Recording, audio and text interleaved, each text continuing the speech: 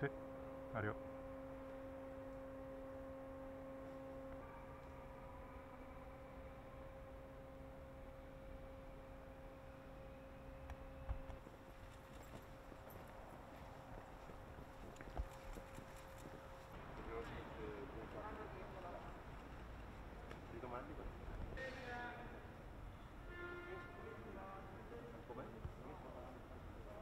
Dopo le 23 chiaramente un minimo di tolleranza per consentire a chi ha fruito delle strutture commerciali, di ristorazioni, di poter fare rientro al proprio domicilio e verificando comunque che siano muniti di autocertificazione in cui vengono riportate le eh, motivazioni che gli permettono di stare in circolazione. Ricordiamo sono eh, comprovate esigenze lavorative, stato di salute, stato di necessità.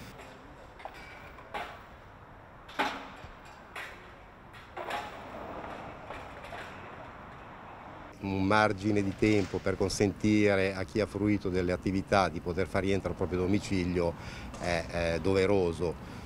Ciò non toglie che nel momento in cui dovessimo incontrare qualcuno e a seguito di controllo ci riferisce di essere stato in una di queste strutture, possiamo anche chiedere di farci vedere una ricevuta piuttosto che uno scontrino, giusto per giustificare la sua presenza in circolazione.